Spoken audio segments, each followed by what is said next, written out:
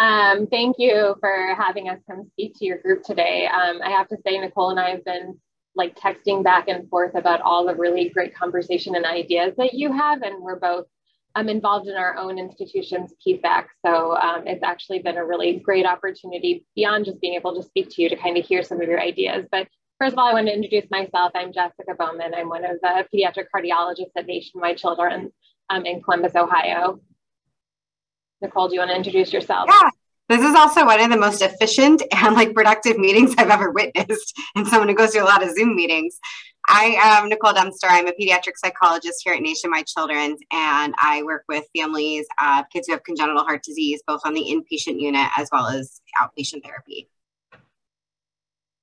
We're going to quickly kind of go over talking to kids about congenital heart disease um, and leave some time for questions, but also um, I do think this is a very, could be a very broad topic, and perhaps if there is time at the spring meeting, could be a bigger um, presentation. If you want to go to the next one, Nicole. Yeah, we had a hard time paring this down because I think we could talk about it for an hour, so getting into 10 minutes makes us angsty. So, talking about your child's diagnosis, and I think um, as you already brought up, there's a lot of difference between talking to a toddler or preschooler, early elementary school child and talking to like a teenager. Um, and so hopefully we'll start doing a better job of, of starting you off early about how to talk to your children um, and changing um, your approaches as your children age. But as far as some language suggestions, just talking about the heart like a muscle, kids seem to understand muscles really well. We talk about your heart is just one of your body's muscles. Um, and you can talk about it, you know, make your kids flex their arms and see there's a muscle there. You have one in your in your chest as well. Um, and making sure kids know that there's lots of kids that are born with hearts that work differently from other from other kids. Um, and because their hearts might work a little bit differently, they have to have treatments. They have to have things to make them um, be strong and, and stay healthy, and whether that's surgeries or visits to their doctors um, or whatnot.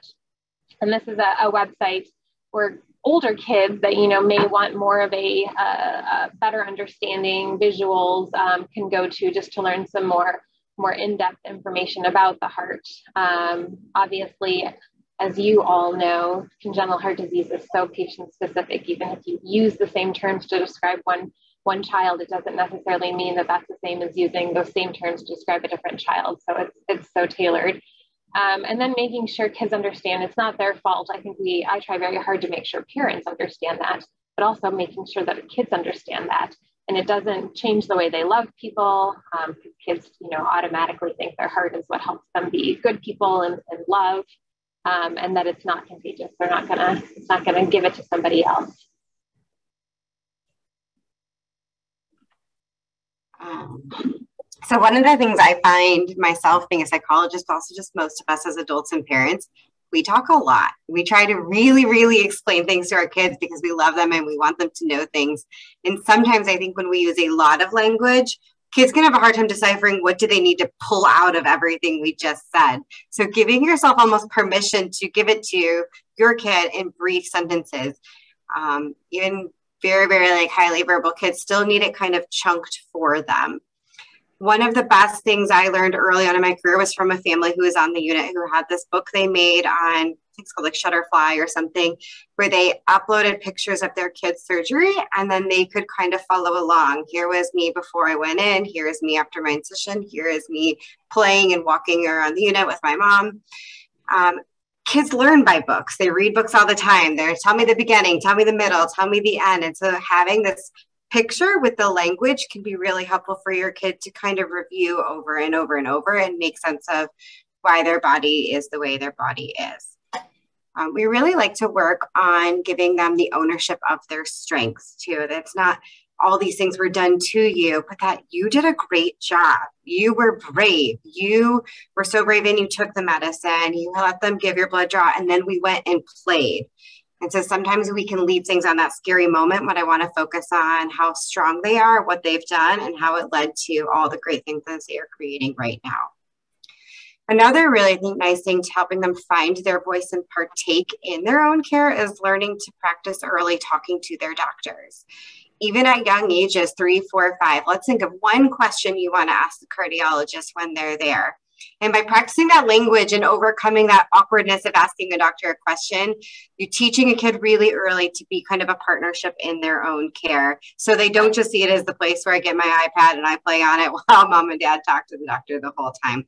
It lets them know that they're included and they're important just in talking about most strategies of when we're talking to kids, again, like using that chunked language, but also looking at consistent messages. So, and this can be really important when your kid's in the hospital and we are relying on babysitters, aunts, uncles, grandparents to talk to siblings, finding that we're using the same language across people because they are looking for those inconsistencies and those inconsistencies breed anxiousness or coming up with their own explanations or feeling like they're not being truthful with everyone.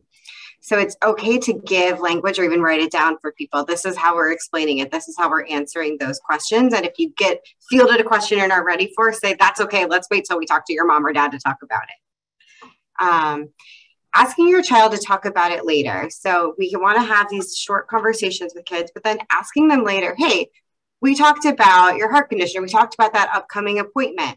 What do you remember that we talked about? And this is when I have found I have learned the most about maybe something a kid has misheard or misunderstand about what have I said. We as adults, and I am very much to blame with this too, we explain, we explain, we explain, and then we say, You okay? You got that? And they say, Yes, I understand, and we move on. But I don't really know what that means. Just like when we go to the doctor's office and they unload on us, we might go home and have a couple more questions. So I think it's a nice way to keep the language going and the conversations going and showing them that it's not just a one time thing, that it's an ongoing explanation. Um, helping your kid focus on what they control if some of the things are scary and making them feel comfortable and validating those feelings. So we don't want to just say, it's okay, it'll be fine, because that invalidates that true, maybe stress or concern that they have. But yeah, that is a little bit uncomfortable. What question do you have for your doctor when you go, or what do you want to still know about that? And so letting them know that they have a way to be a participant in it and that their feelings are okay. And we'll talk about their strengths and uniqueness a little bit another page. Um, Jessica, just jump in if you want to. I'll talk forever. Um, but we also want to just think about things that they will come up with at school. If kids ask about their scars or why you're missing school or why do you have a tube here, that is a really pressured point if someone asks you out of the blue and you're not sure what to say and I struggle being asked for things out of the blue. So having your kid practice what do you want to say to those people? What do you want to say to a friend? What do you want to say to a teacher? Um, do you feel comfortable if a teacher explains it to other kids or not? We want to give them the choice and the ownership to their body, their condition. And that also might change over time. They might feel this way in second grade and different in fourth grade. And those are ever changing conversations that we just keep having. But the more we practice saying anything out loud, the more confident we feel when we're in those stressful situations.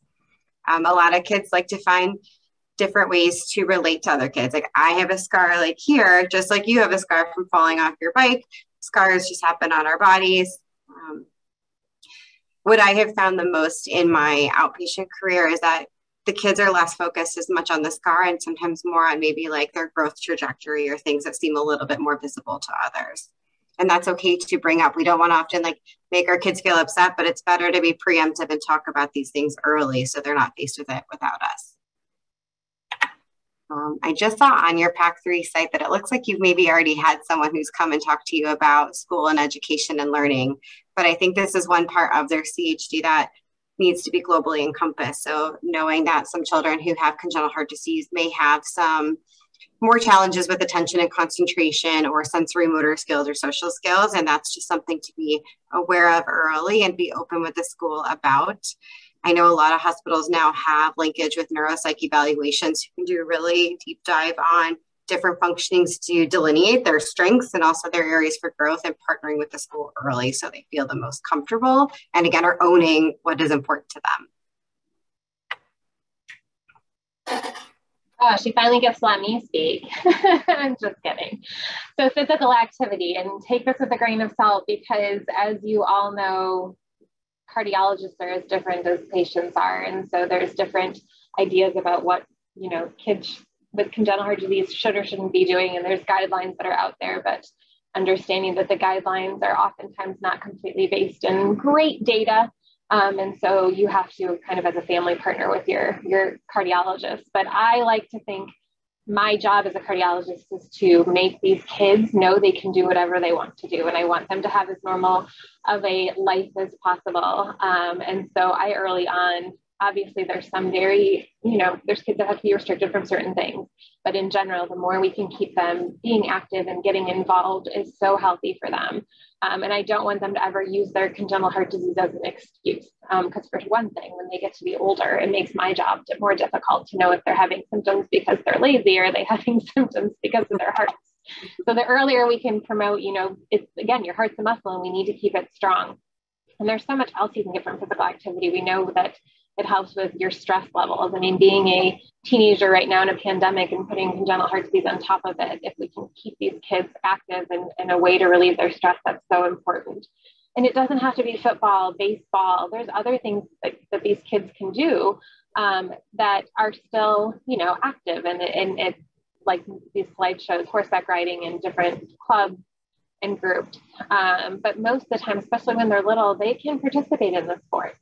Um, the one thing I will say is there are some of our patients who may not excel as much as others. So even though I'm often like, yeah, you should do it, they may realize that their hearts just may not allow them to keep up with their, their peers. And then we have to, to focus on that as well, or try to find them opportunities to, to be able to excel in different things. Um, but I definitely think activity from the get go needs to be promoted and um, continue to be a, an emphasis, especially, and and, there are kids who that's just not what they want to do and not their interest.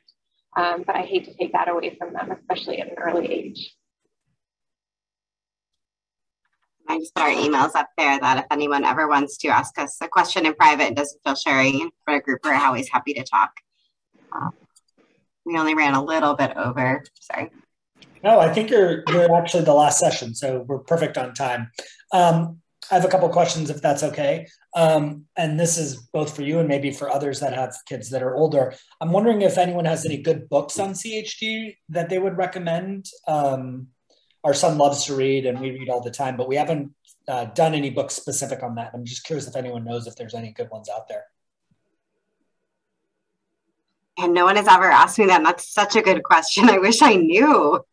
All right, PAC3 should write one. Let's make one. Ah, right. there we go. Revenue stream for the PFAC, huh? Yeah. Um, I say there are books out there that I'm not. I just know families have told me, you know, intermittently that there there's books, and there's also you guys have probably seen those little love WubbaNubs, like the pacifiers connected to the little stuffed animals. There's like a congenital heart disease one. So there's definitely those out there. I can't vouch for the quality or how it's you know written, but but that I think would be fab fabulous. Yeah. There are a couple, but we haven't looked at them in so long that I don't remember the titles. If I, I find them, I'll look and see. I'll send them out. But I do, there's one that I would recommend for parents. It's called I don't remember the um, author, but he is a photographer that has CHD and he took photos of kids at different stages. Um, in their journeys too. It's called, I think, My Heart versus the Real World. Um, and so it's not for young kids, definitely, but I mean, I cry every time I read it, but it's a uh, it definitely for parents and maybe for older kids because he kind of talks about in the beginning how he felt growing up and then kind of reflects on that as he meets these kids at different ages in their life. I'll look up the author. I don't remember it, but I can send it out to the group. That's awesome. Thank you. Then my other question is, what age do you find kids start to understand that you know they have something going on? I think I put in the chat. Our son, for the first time, noticed a scar maybe a few months ago, and he's now three, so between two and three. But I didn't know if there was a typical age we should really start paying attention to this, or they'll kind of tell us, or what what the recommendation and experiences of of you both are in the group. I would say probably around two to three is a lot of times where kids start to notice it. I think before then they go to see the doctor a lot, but that's kind of their normal life. They have nothing else to compare it to. Um, and so that's a lot of times when they start to see it um, and notice it. And there's some kids that are like, they want to show everybody. They're like, look at this, this is super cool.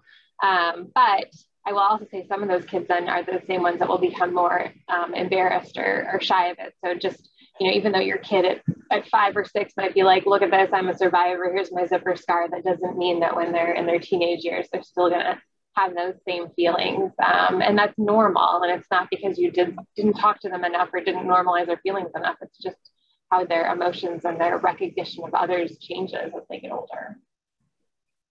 Yeah, I think that's a really important point is that all the things we do in parents set them up for stage, but like there's a lot of other influences that we can't control too. But I would say definitely kids around the age of three seem to shock me at how much they can retain and explain, especially when we use really good visuals and explanations. Um, so I think it's a great time to start normalizing it, getting them comfortable with that language.